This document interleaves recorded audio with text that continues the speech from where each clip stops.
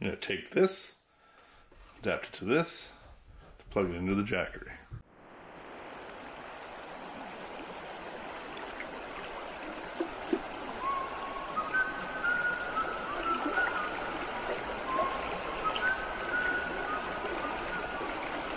Gonna add a 12 volt adapter to the Helix 7.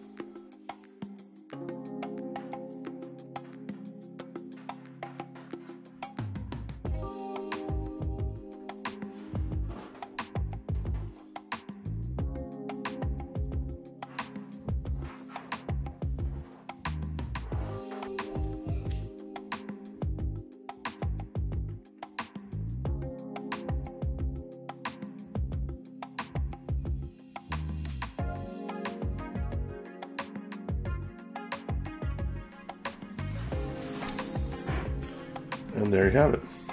Powering Jackery 500, powering the Humminbird.